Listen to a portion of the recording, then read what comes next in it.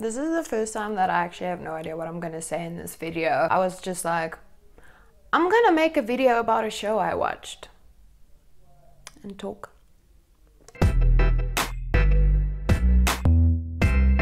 So the show I want to talk about is a show called You. You can find it on Netflix if you're curious. And before I say anything about the show, I just want to say that I'm not saying you shouldn't watch the show. I'm not saying you should watch the show. I'm saying I thoroughly enjoyed the show, but I also find it very problematic. And here's the thing, okay? I'm talking about you specifically right now, but it's not actually the only show that I've seen do this before. I've definitely seen it done in loads of movies, including very famous movies and movies that I also actually enjoyed. And uh, once I tell you what movie this is, you're gonna be like, what? I'm talking about Twilight. Bruh. Not proud of it, but I used to be a big fan. Team Jacob, by the way. Okay, so I don't even really know where to start because like I said, I didn't script this uh, video at all. I've got no idea what I'm gonna say. I'm just gonna give you my honest opinion. I'm gonna try my best not to put spoilers in, but it's gonna be really difficult to say what I wanna say without spoiling it. So I'll try my best not to, but I apologize, so. Well, first of all, just to give you an idea that the show is quite riveting, shall I call it? Because I started watching it on like a Saturday morning really early and I pretty much binge watched the whole show and finished the season by the end of Saturday. The same Saturday, by the way. And here's the thing. It's a very good show, it's very well produced, the actors are amazing at it, the characters are very well um, developed, but this show is oh so problematic. If you don't know what the show is about, it's basically about this character named Joe, played by Penn Badgley from Gossip Girl. And I think uh, one of the mistakes that they made was they took actually a very attractive guy to play this role. That I think was one of the problems, but uh, there's a few more. The thing is with this, okay, is they've got this guy, Joe. He works at a bookstore and then he meets this beautiful blonde girl whose name is Beck. I think it's Guinevere, but she likes to be called Beck. Water break.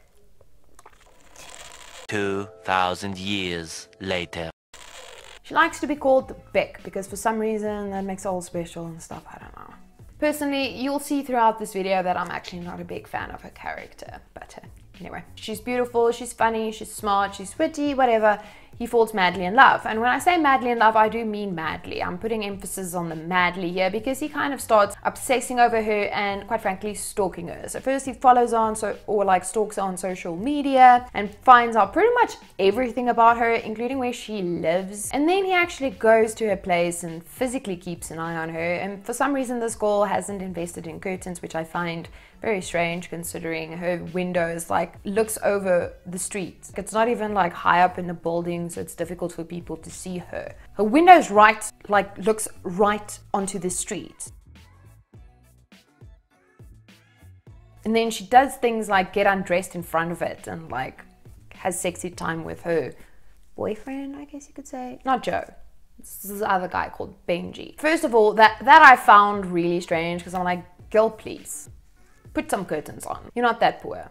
Moving on, he starts obsessing over, freaking out about her, and then from this show is basically just where you get to see his side of the story, like how he experiences everything and what he thinks, which I found particularly interesting because as someone who really enjoys watching like crime documentaries, not like CSI, I mean like legit like crime investigation, discovery ID, you know, those type of things. And I'm very intrigued in like the psychology of people who or two sandwiches short of a picnic. So I found it very interesting because you get to see from his side. Like he doesn't think he's being weird or strange or creepy. He just thinks he cares about her like a lot and he's trying to protect her. It's weird, I know, but anywho. I found it really interesting because I was like very intrigued into his like mind process, but it also makes the story problematic. They show another side to him as well where he's got this kid who I for the life of me can't remember the name But he's got this kid, a neighbor kid, who also lives in very messed up circumstances with his mom and the guy that she's dating is very abusive and he's a drunk and he's got this horrible circumstances. And then Joe's just a really nice guy about it and he takes care of the kid and he helps the kid where he can. And he's just a good role model for the kid. What I kind of liked about that is the fact that they show that people aren't just monsters. Like, I, I'm a firm, firm believer that most people aren't inherently Inherently. Horrible. Even the worst kind of people weren't born horrible. You, you know, you feel me? So there's like always more to a person, and that that I kind of enjoyed. That I thought was like okay. Like, I'll, I'll give it to you. But what I didn't enjoy was the fact that they really have this way where, like, a few episodes in, I found myself rooting for Joe which was a very strange moral dilemma to find myself in because I like to think that I, I'm a good person. But here I was rooting for someone who is very messed up. And I don't mean because he's like mentally unstable. I mean, like this guy did some really messed up stuff. Spoiler alert, like skip a few seconds if you don't want to see what he did. But he basically, he killed people. In his mind, he thought he was doing Beck a favor, but whatever. The point is, he's like a really dangerous person, really not someone you want in your life, and someone who, quite frankly, should be behind bars. But I found myself rooting for him, and it was weird. It made me very uncomfortable. You know that feeling you get on a roller coaster where you're like, not, but you don't want to throw up, just not nauseous. Sorry, I'm throwing off a consonant. That's exactly how I felt. I don't want to be rooting for the bad guy. They made the bad guy good, and that's what makes makes it problematic. Because now you've got girls watching the show, fantasizing about this guy, and I'm I'm not making this up. Like people started tweeting at Penn saying stuff like "kidnap me" and talking about how sexy he is, and how he's like next level hot and stuff like that. And that's very disturbing. I mean, this guy's a freak. This guy's a murderer. Why are you fantasizing about him? And what made it even more problematic is that the main character, the female lead, Beck, she's very difficult to like. Like, I had a really tough time liking her. I tried. I tried so much. Like, I kept giving her the benefit of the doubt. And I was like, girl, I'm, I'm gonna try. Like, I'm gonna try this time round. Like, I'm gonna see if I got you. But I never got her.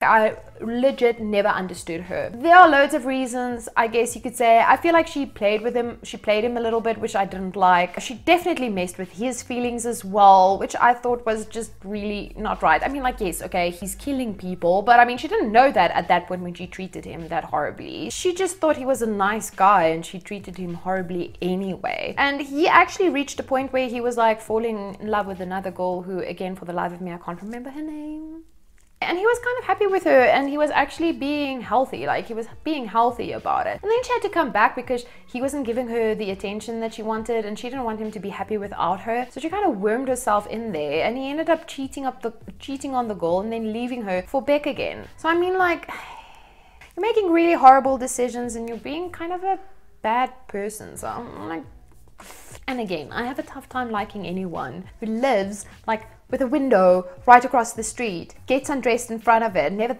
bothers to put on a freaking curtain. She also seems like she really is like yearning just for attention. Like she just seems like she loves attention and she's always craving for it. I ain't about that life, okay?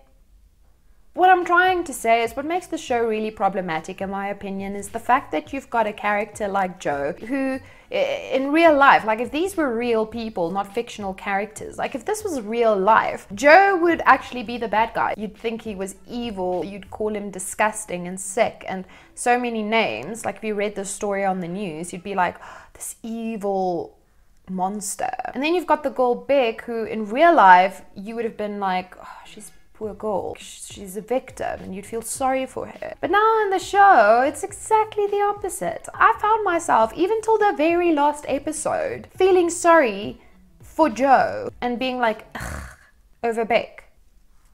So, what makes the show problematic is that they're romanticizing bad men and dangerous men and toxic relationships. Which brings me to movies, for example, like Fifty Shades of Grey. I will make a whole video where I rant and rave about how horrible that movie is and how I don't understand why it's such a thing. I don't get it, but anyway. But even to an extent, Twilight. It's these movies romanticize very toxic relationships. I mean, in Twilight, let's be real, this guy was like, he was like really old, and she was a young teenager. It was just a really weird, toxic relationship between her and Edward. He was very very controlling, he was very obsessive, and he was also creepy. I mean, he just showed up at a house for crying out loud. That's weird. If that happened in real life, you'd be like, ah, boy, bye. For some reason in, in movies, it's like so romantic. It's not healthy. And then you've got 50 shades of grey where you grey where you've also got this guy who's like very controlling, very obsessive, very weird, very creepy, very stalky, stalkery, stalkish. I don't know what stalker-ish.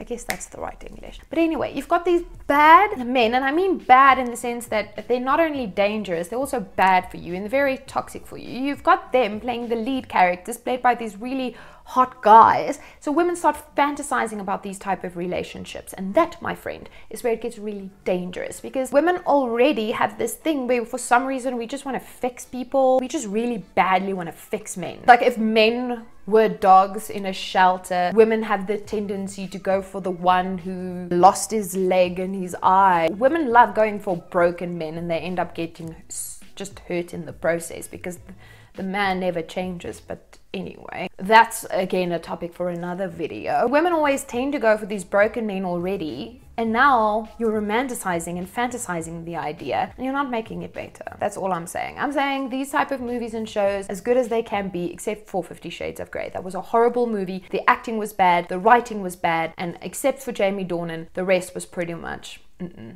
But anyway, yes, You is a great show. It's, it's very riveting, like I said, but it's problematic because it fantasizes really bad and toxic relationships and makes you feel like towards the killer. Am I saying don't watch the show? No, I'm not saying watch, don't watch the show. If you want to watch the show, watch the show. I'm just saying, just giving my opinion about why I think it's problematic. But anyway, yes, this was a bit of a different type of video, but I just felt like ranting and raving a little bit, and uh, it's always nice. So if you did enjoy my video, please, please remember to give me some TLC, comment, like, and subscribe. But seriously, please subscribe. Like, I need subscribers subscribe. And then because this isn't a video that I actually planned, I'm not going to do a shout out today, but I will do a shout out again next time. Until next time, stay awesome. Ciao.